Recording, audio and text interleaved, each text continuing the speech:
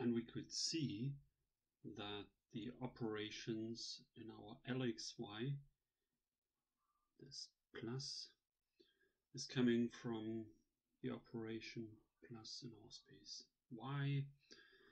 The alpha times in LXY is coming from the alpha times in y. The norm in LXY is coming from, well, kind of both norms. This is the norm in y, whereas this is the norm in x, so it depends on both of them. So you see how structure in x and y implies the structure in LXY. Okay, can it get any better? Well, of course, a Banach space would be better, so we need completeness. Um, how do we get completeness of L of x and y? Well, we probably need completeness for x and y, or maybe just one of them. Let's see. L of x, y is complete, hence Banach space if y is complete. Hence Banach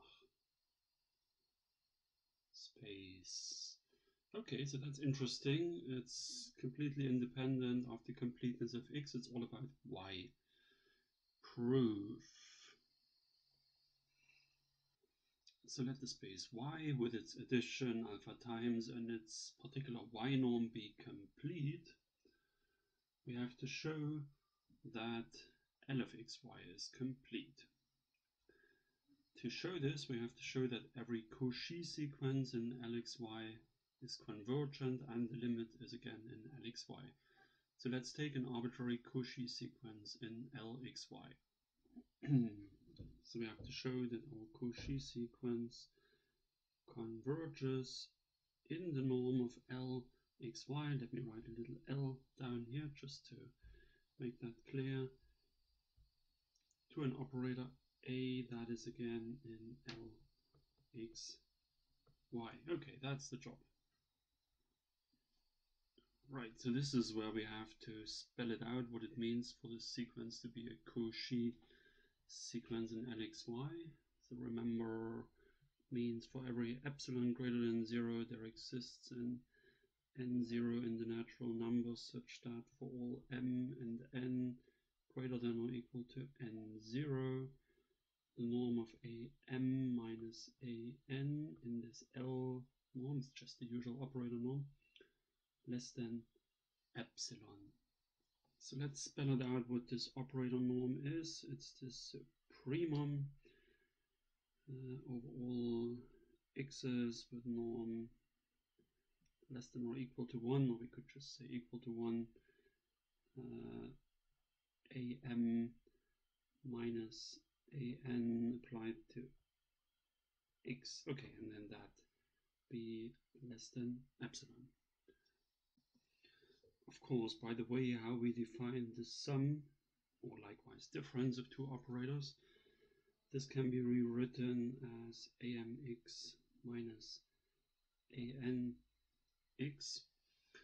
And then, if you read this from the top, it says that your sequence anx, or amx, as you like, is a Cauchy sequence.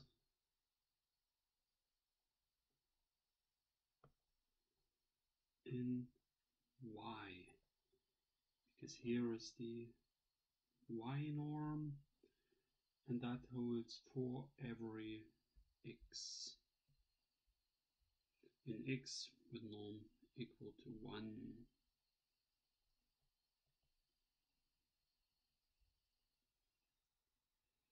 And that's exactly why completeness of y is crucial here. You can see it. We say that y is complete, so let's use that fact. So y is complete. So we have limits in y. So for every such x in x that has norm equal to 1, there exists a limit, let's just call it little y,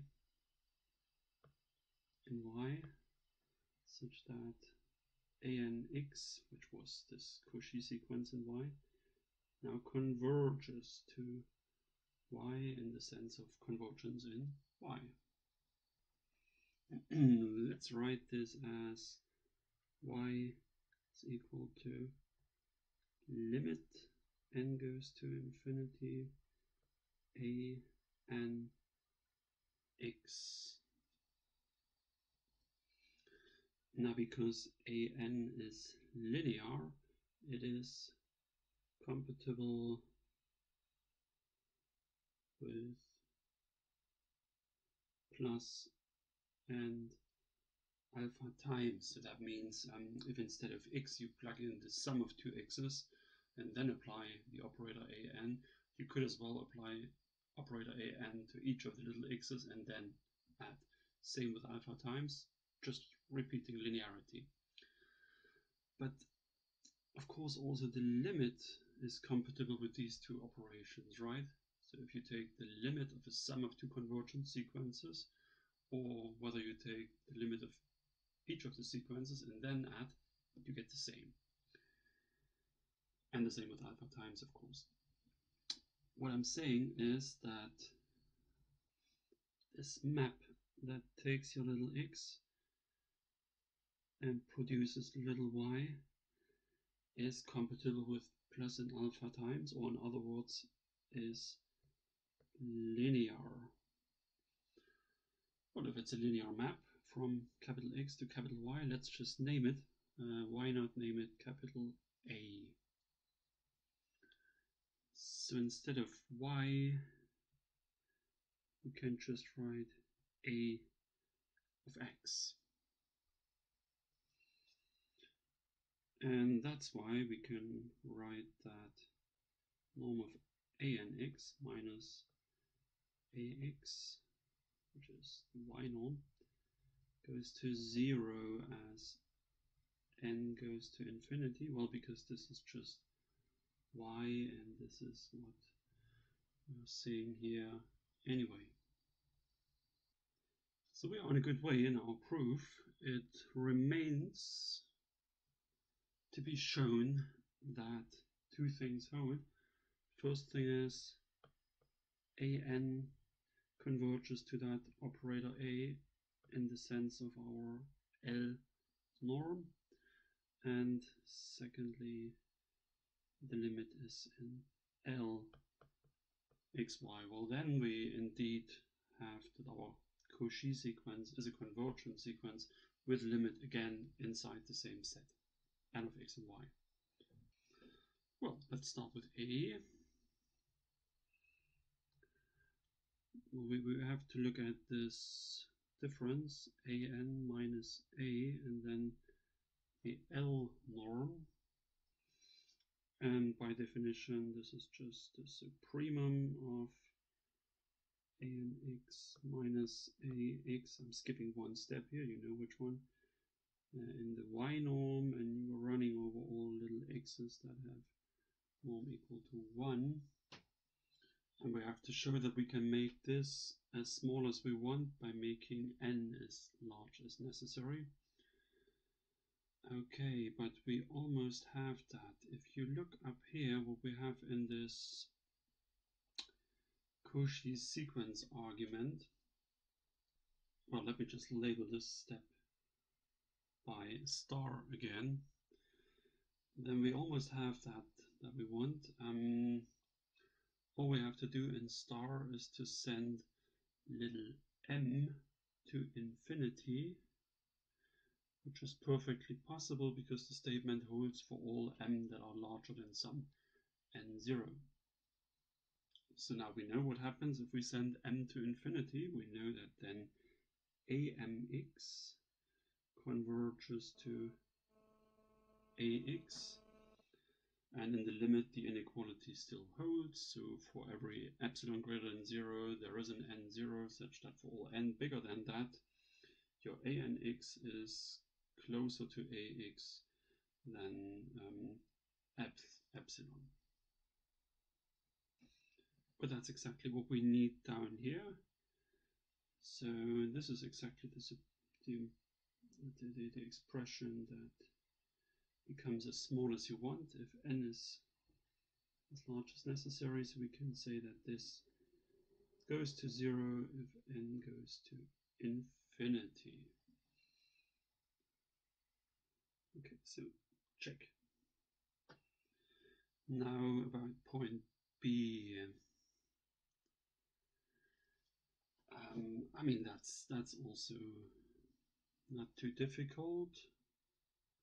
By the triangle inequality in L xy, you can bound the operator norm of A by the operator norm of an plus the norm of the difference of the two.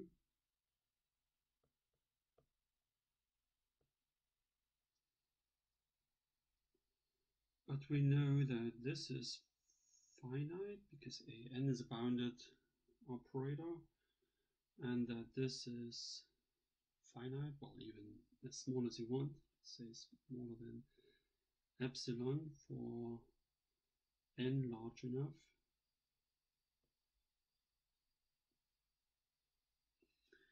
So you can certainly conclude that this is a finite number, hence showing that A is an LXY. Alright, believe it or not, we finished the proof. So I, I think you've seen uh, how completeness of y comes in and is crucial here and completeness of x is nowhere needed.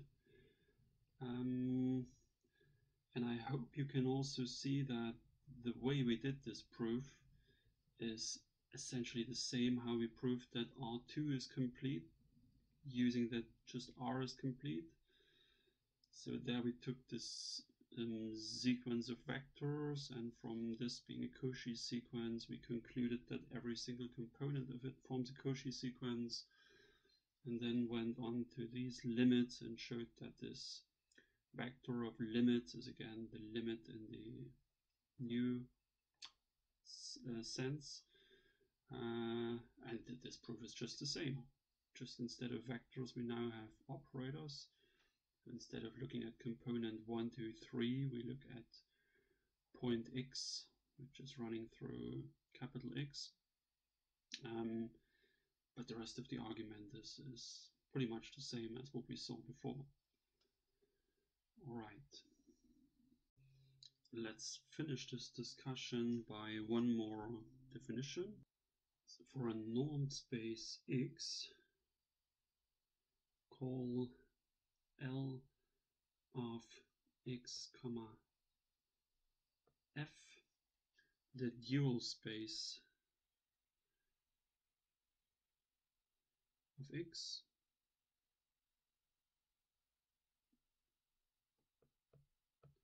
Uh, notation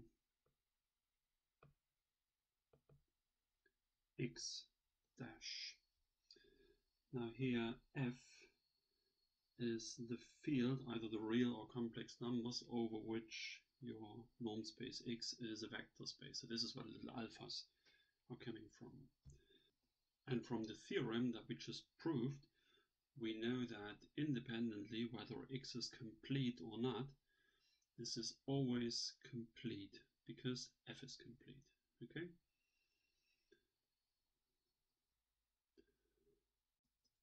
And maybe one last comment here. The elements, let me write F for one, of the dual space X are obviously by the definition linear operators from X into the field of real or complex numbers, so they produce numbers, are linear, um, and are called linear functionals. So the fact that they produce numbers instead of other complicated vectors is reflected by the um, extra word functionals here and this is where the word functional analysis comes from